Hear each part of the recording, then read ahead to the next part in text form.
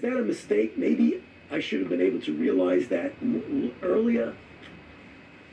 I'm not sure it was a mistake. It was just an evolving thing that we finally realized and said, whoa, this is really worse than we could have imagined.